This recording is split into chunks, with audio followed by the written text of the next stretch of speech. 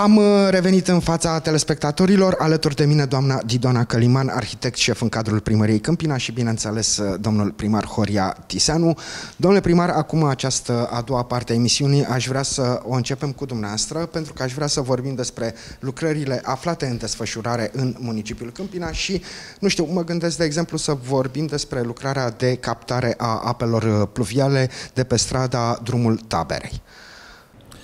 Uh, mi se pare că este o lucrare foarte inspirată, introdusă în buget în acest an, pentru că în această perioadă în care uh, încălzirea globală cu adevărat își arată efectele, uh, putem feri strada Iliade Rădulescu și străzile laterale de o abundență de apă care, ar fi, care ar fi apărut în momentul unor ploi torențiale în partea de nord-est a municipiului Câmpina. Și ar fi afectat uh, locuințele din zonă. Și uh, ar fi afectat. Uh, adică toate apele pluviale de pe, de pe dealul Mușcel sunt, vor fi preluate de această canalizare care este realizată în proporție de 75% și duse către părâul Câmpinița. În felul ăsta, canalizarea pluvială de pe strada Eliade Redulescu, Poeniția, Anotimpuri și așa mai departe, nu vor mai fi grevate de apele de pe Mușcel și ea va prelua doar apele, apele de pe străzile respective, care vor fi în cantitate mult mai mică, astfel încât nu va mai fi o, o abundență de apă și uh, niște capace care vor sări în fața lacului Biserici, unde canalizarea de deci are diametru de un metru, vă dați seama, 1000 de milimetri, nu face față în perioada, în timpul ploilor abundente. Uh, este o lucrare bună, o lucrare care va proteja toată zona și zona locuințelor de acolo din, din nord, care de multe erau inundate, uh, locuințe de lângă dealul Mușcel, și uh, ea se va finaliza cu siguranță în timpul acestei veri. Domnule primar, ca o paranteză, uh, ați adus în discuție acest, aceste fenomene meteo extreme, când căldură foarte mare, temperaturi foarte ridicate, când, știu eu, ploi și furtuni intense. Aș vrea să vă rog să ne spuneți ce măsuri a luat primăria Câmpina împotriva caniculei și pentru a preîntâmpina pe cât posibil uh, efectele produse de ploi și de furtuni. Da, uh, bineînțeles că câmpinenii sunt foarte, fiind foarte exigenți, între ei sunt și oameni foarte critici și s-au repezit să mă critice atunci când am anunțat că în centrul municipiului Câmpina a fost, uh, a fost amplasat un container pentru uh, prima ajutor. Alții care sunt mai toleranți s-au bucurat și cineva chiar spunea că este grozav pentru că în Ploiești nu există așa ceva. Eu nu vreau să fac nicio comparație, vreau să spun doar că acest container este nou pentru prim ajutor, este amplasat în pasajul pietonal de la ceas, are o instalație de aer condiționat, are un dozator de apă, se poate bea apă rece, are acolo un pat de campanie și există tot timpul asistentă medicală în timpul zilelor uh, toride, cu o căldură foarte mare.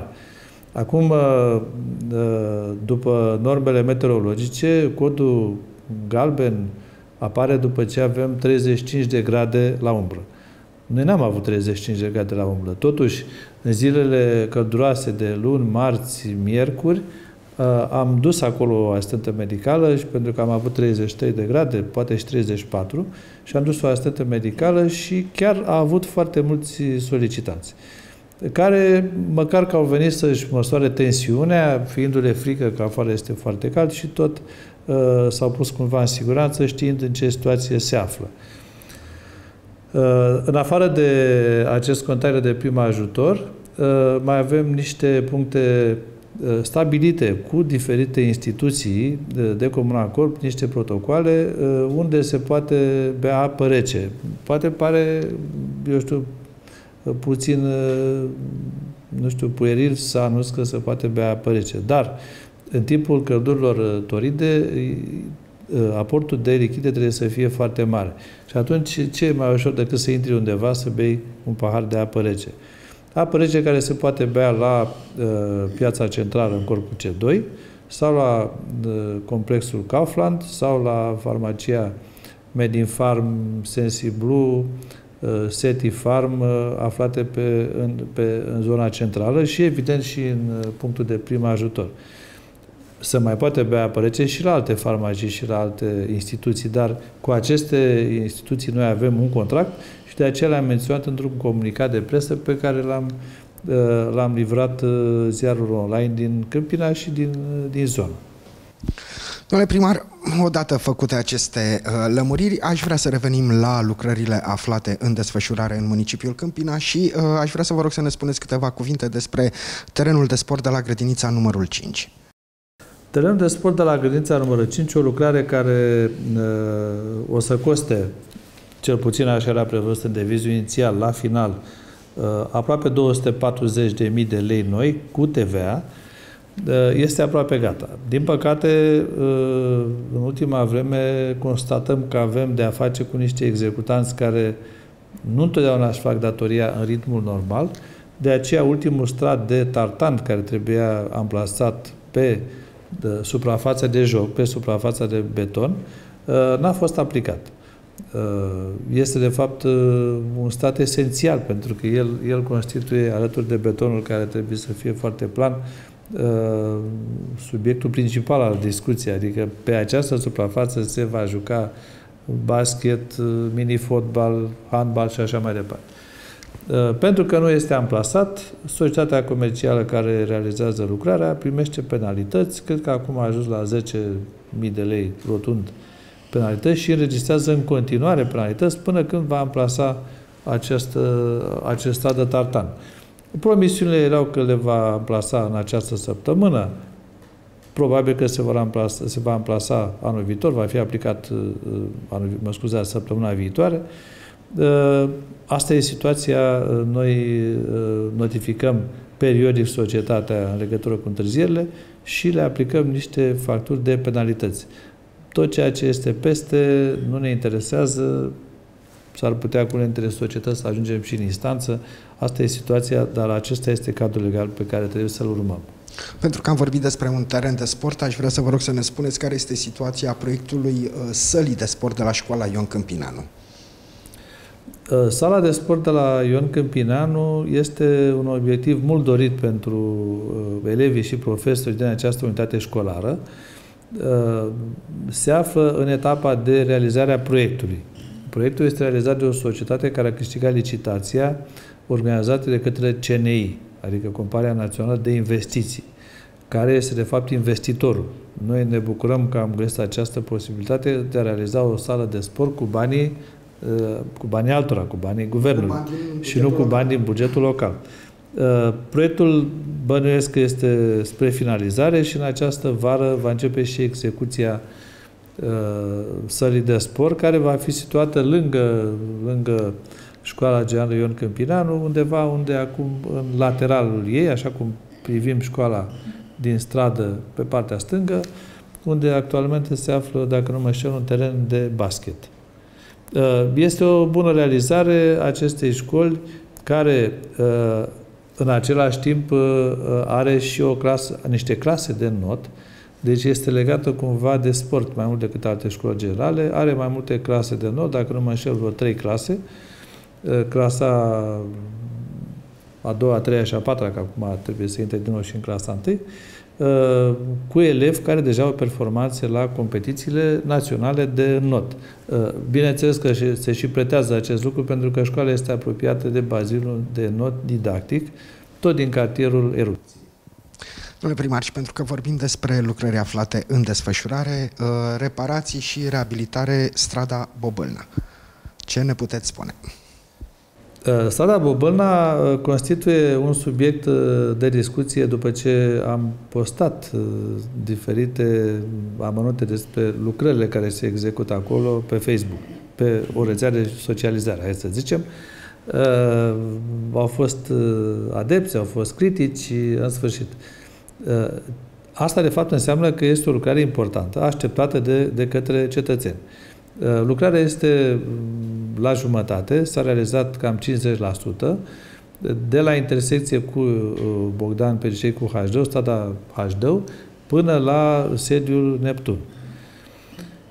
Se lucrează în continuare, s-a lucrat deja, se lucrează în continuare la trotuarele care se vor realiza până în calea Doftanei și să știți că, deși trotuarele nu par o lucrare uh, grea, este, realizarea totală este o lucrare foarte migăloasă, pentru că trebuie să scoți trotuarul vechi, trebuie să amplasezi borduri la o anumită cotă, după cota bordurilor va merge în principiu și cota străzii, trebuie să pui beton, trebuie să pui asfalt, adică chiar dacă trotuarul pare ceva minor, ă, este o lucrare foarte importantă.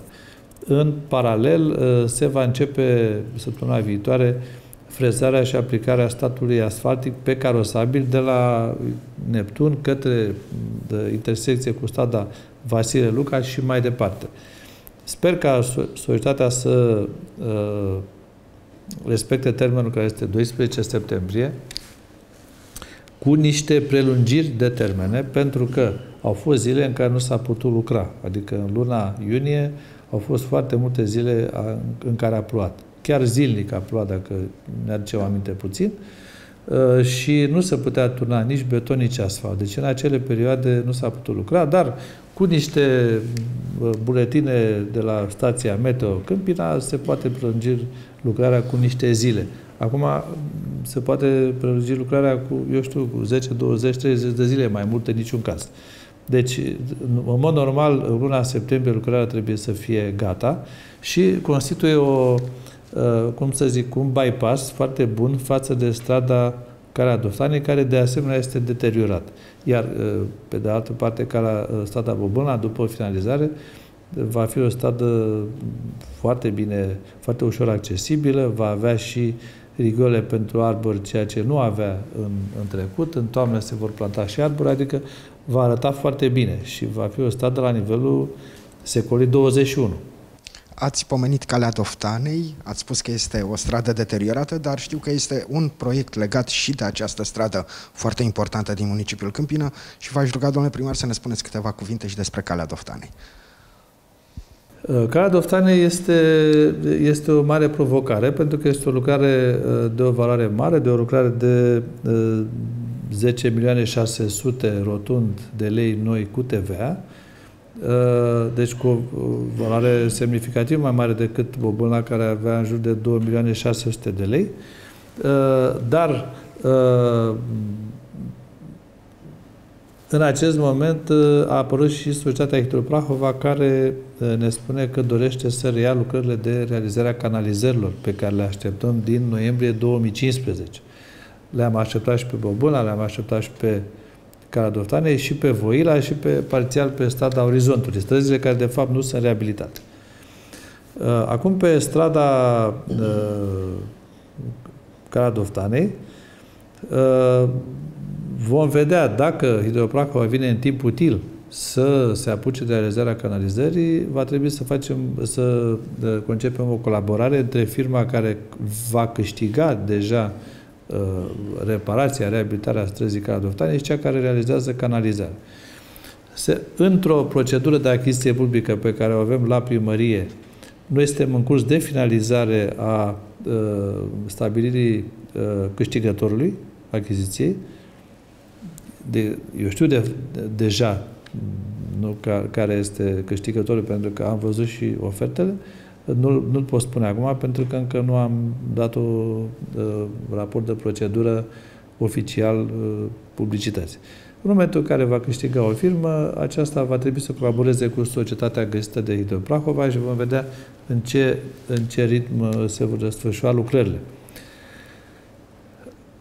Cert este că pe calea Doftanei, de la intersecție cu Carol I până la strada Republicii, care nu este un tronson nu se poate uh, începe la reabilitarea străzii de mâine. Dacă mâine câștigă firma uh, reabilitarea, de mâine se poate începe pentru că acolo nu va fi nicio canalizare.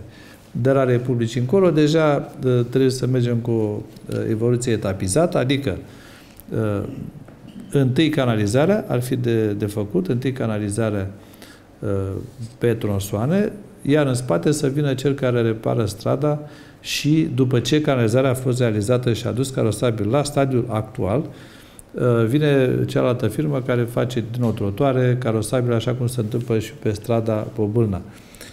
Se pot deschide două sau trei fronturi pe calea Doftanei, dacă firma are echipa, echipamente și personal, pentru că strada este foarte lungă, are 4 km și ceva și se poate face acest lucru. În mod normal se lucrează din aval către amonte. Dar în acest moment noi încercăm să o facem invers, adică să o facem de la strada Republicii, de la Colegiul Național Nicolae Grigorescu către strada, către podul de la Telega, pentru că ne avantajează această, această, această turnură a lucrurilor, având în vedere, în primul rând, pentru faptul că cea mai deteriorată parte a căii Doflane este cuprinsă între BPHD și linia de cale ferată și atunci această lucrare am dorit să o realizeze uh, pentru început. Și uh, cam, cam asta este desfășurarea. Lucrarea va începe cu siguranță în acest an și canalizarea, sau bine despre canalizare, acum ce să vă spun, 99%, pentru că nu e lucrarea noastră, mai rămâne 1% pe care nu-l știu, care ține de Hidroprahova. Dar 99% uh, va începe lucrarea de canalizare și reparația străzii uh, uh, Caradoftane. Vreau să fac o paranteză și să vă spun că în uh, prioritățile pe care le-am stabilit cu executantul uh, care va intra pe realizarea uh, rețelei de canalizare restanță din lucrarea oprită în noiembrie 2015, uh, am mai inclus un tronson scurt pe Carol I între sensul giratoriu de la intersecție cu Pictor Grigorescu și strada Golești, astfel încât să putem da în folosință toată canalizarea realizată pe, în cartierul Câmpința și care nu funcționează, din păcate, ă, care trebuie să fie dublată, bineînțeles, de realizarea unei stații de pompare la capătul străzii Crișuri, care va prelua toate apele care vin pe Crișuri și le va duce, cred, dacă nu mă înșel, chiar pe uh, Balea Rosmarin, va merge către Carol I și vor fi preluate uh, mai departe de tronsonul de care discutam și duse în stația de epurare de, la, de lângă Bănești. De asemenea, uh, în, am insistat foarte mult să se realizeze branșamentele pe strada dealului, partea foarte înclinată, partea care este pietruită. Pentru că și acolo avem o lucrare uh, pe care, pe care vrem neapărat să o realizăm în acest an și atunci dacă se fac doar branșamentele, tubul fiind deja introdus, uh, putem și începe și noi să modernizăm strada, să vinem cu betoane, cu asfalt, pentru că e o stradă pe care să circulă extrem de greu. Un tronson de stradă pe care să circulă extrem de greu și atunci uh, uh, am băgat-o uh, între priorități. Între priorități mai intră și un micul cartier, uh, zice cartierul de vest. Știți că era și o operă. Și, uh, cartierul de vest, uh, operă modernă, cartierul de vest care cuprins între străzile Bulevardul Culturii Căstada Podului, Dr. Babe și așa mai departe, pentru că acolo sunt niște locuințe care acolo apă menajă trebuie preluată și, în primul rând, crembilul energetic, Uh, a cărui lucrare este în lucru, de modernizare, mai este puțin până îl finalizăm și vom, vom da gata 28 de locuințe. Acolo mai există deja 24 de locuințe la etajul 2 și 3. Noi vom da în folosință uh, parterul și etajul 1. Există o, o fosă septică, uh, eu știu, amplasată deja, care se vidanjează, dar s-a ajuns să se vidanjeze la 3 zile. Dacă vom da uh, în folosirea aceste locuințe, se va evidanja poate în fiecare zi. De aceea este, nu știu, am încercat să găsim toate pierderile de apă, nu le-am găsit, deci, în mod normal, cam atâta apă se consumă acolo. Și atunci uh, devine o prioritate mare să realizăm o, o etapă de canalizare și în acel cartier și cu niște pompe, uh, niște stații de pompare care vor duce apa până pe strada schelelor, ea va fi plată de asemenea rețeaua de, urbană de canalizare. Cam acestea vor fi prioritățile. Și, bineînțeles, uh, strada Bobâna. Uh, mai, tot în această paranteză mai vorbesc de o lucrare care nu este prinsă în discuția uh, pe care aș vrea să o facem, dar aș vrea să amintesc despre strada Voila. Și pe strada Voila vrem să venim din urmă cu o rețea de refacere, Uh, și uh, avem în lucru uh, refacerea uh, proiectului de modernizare a străzii Voila, care va, pe care se va intra și cu canalizare, dar noi trebuie să pornim din urmă de acum cu lucrările de modernizare în ceea ce privește uh, strada cu etapa de proiectare, care este foarte lungă. Nu ascund faptul că pentru strada Voila încercăm să luăm, să o introducem pe uh, Fondul Național de Dezvoltare și Investiții, pe FNDI, care cuprinde astfel de lucrări și să încercăm să obținem finanțare de acolo, pentru că și finanțarea pentru toate aceste lucrări este o problemă. E un drum județean, dar uh, fiind uh, în municipiu, noi trebuie să facem uh, intervenție și atât timp cât Consiliul Județean are multe alte sarcini, sunt convins că nu va veni să cheltuie, eu știu, 8 milioane de lei pe această stradă. Domnule primar, vă rog să ne spuneți câteva cuvinte și despre stadiul lucrărilor la blocul de necesitate. Blocul de necesitate mm, constituie o lucrare încheiată. Am terminat uh, tot ce trebuia realizat acolo, cu stat de asfalt, cu marcaje, cu canalizare pluvială, un, uh, eu știu, s-a acoperit cu pământ partea din spatele blocului. Este un bloc admirabil, uh, un bloc foarte frumos și în exterior și în interior, cu o parcare subterană generoasă, deci este un bloc modern. De aceea invit din nou cetățenii care locuiesc în blocurile afectate de cutremure, în blocul A6, în blocurile 6, 8 și 10 de pe Eminescu și în blocurile aflate pe strada Bucea și Orizontului, să vină cu curaj să ceară să le consolidăm blocurile. Pentru că acest bloc uh, stă neutilizat, fiind un bloc de necesitate. Dar noi nu-l putem ține la infinit neutilizat. Va veni încă o iarnă, uh, va trebui să lăsăm într-o stare chiar de anti-îngheț, regim de anti-îngheț cu 72 de centrale termice uh, și va cheltui foarte multe gaze, uh, vom cheltui foarte mult cu gazele, cu apa și cu curentul electric. Nu știu dacă mai putem trece și în această iarnă, tot încercăm să convingem oamenii să le consolidăm blocurile. În caz, în caz chiar nu doresc, imediat vă putem găsi o altă destinație pentru acest bloc sunt, slavă Domnului, destule cereri de închiriere a locuințelor și pentru tineri și pentru oameni de orice vârstă și imediat putem găsi niște locatari. Noi am încercat să facem acest lucru pe cei, pentru cei cu locuințe avariate de cutremur. Dacă dumnealor nu doresc să, să le reparăm locuințele, asta este și asumă răspunderea în cazul unui cutremur de mare intensitate. Uh, mai mult de atât nu putem face și intenția noastră a fost foarte bună și cheltuiala foarte mare. Domnule primar, mi-aș fi dorit în această emisiune să abordăm și uh, subiectele legate de stadiul uh, proiectelor pe fonduri europene, dar din păcate nu mai avem timp și de aceea vreau să vă rog să acceptați ca în următoarea ediție a emisiunii să vorbim foarte pe larg despre proiectele pe fonduri europene pentru că sunt foarte importante și de mare interes pentru municipiul Câmpina. Dacă îmi permiteți, aș vrea să vorbesc foarte scurt despre un singur proiect. Uh, s-a semnat un uh, Uh, ultimul contract de finanțare a fost semnat. Este vorba de soluții informatice integrate pentru simplificarea procedurilor administrative și reducerea birocrației. Am semnat uh, acest contract uh, de finanțare, este cu o valoare de 2.900.000 de lei cu TVA. La Minister s-a semnat Ministerul Dezvoltării pe 28 iunie și în acest moment deja se, se, se începe implementarea lui este acel proiect uh, legat de, de relația cu cetățeanul, cu trimitere de solicitări prin internet, primire tot pe internet, arhivă digitală și așa mai departe. Uh, ne bucurăm că am asemnat acest uh, contract pentru că în afară de lucrările de infrastructură care ne interesează foarte mult și care sunt necesare, și relația cu cetățeanul, și chiar zone de agreme și educative și de sănătate sunt bune.